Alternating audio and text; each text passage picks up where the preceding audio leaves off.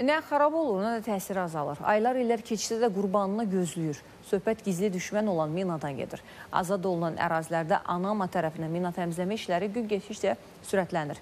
Hər birinin məsuliyyəti çox böyükdür. Bizim üzərimizə isə kiçik bir məsuliyyət düşür. Səbirli davranaraq işğaldan azad olunan ərazilərimizə qanunsuz səfər etməmək. Müxtəlif vasitələrlə azad Qarabağımız minalardan azad edilir. Mina və partlamamış hərbi sursatlardan təmizlənən ərazilərimizdə Mina Təmizləmə Agentliyi tərəfindən lövhələr quraşdırılır.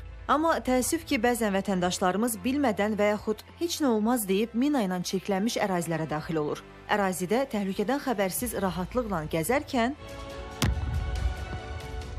Bir an bəs eləyir insan həyatının məhvinə. Ya ölürsən, ya da ömrünün sonuna qədər minanın qoyduğu ağır izlərlə yaşayırsan. Dözülməz və dəhşətli. Bütün bunların olmaması bizim öz əlimizdədir. Xəbərdarlığı yenə təkrarlayırıq. Şübhəli əraziyə daxil olmusunuzsa, təhlükəli əşyaya rastlaşmısınızsa, dərhal dayanın. Yerinizdən tərpənmədən 102 və 112 qaynar xətləri ilə əlaqə saxlayın. İstənilən halda heç bir cəhd göstərmək lazım deyil ki, ay ayağımın ucunda çıxım və yaxud da hansısa bir istiqamətə çox ehmalca addımlayım. Yəni bu cür hərəkətlərə yol vermək qəti şəkildə olmaz. Çünki mina e, partlayışı saniyənin e, belə deyək də onda biri qədər olan müddət ərzində baş verən insidentdir. Heç ağlınıza gəlməyən başınıza gələ bilər. Çünki minalanmış ərazilərin də öz əlamətləri var. Təmizlənməmiş ərazilərdə gördüyünüz hər bir əşya partlayıcı maddə ola bilər. Ayıq sayıq olmalıdırlar. Deyək ki, məsələn, əgər ə, torpaq səthinin üzərində hər hansı bir çalalar vardırsa, bu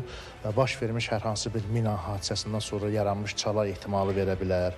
Ərazidə hər hansı bir deyək ki, texnikanın qalıqları varsa, səngərlər var həmin ərazilərdə, xəndəklər var bu yerlərdə. Bu yerlərdən kənar durmaq lazımdır. Hər hansı bir deyək ki, çöl heyvanları minaya düşərək tələf ola bilər və onların sümük qalıqları görsənə bilər ki, yəni bu da əlamətlərdən biri hesab olunmalıdır. Minaların müxtəlif hissələri ola bilər.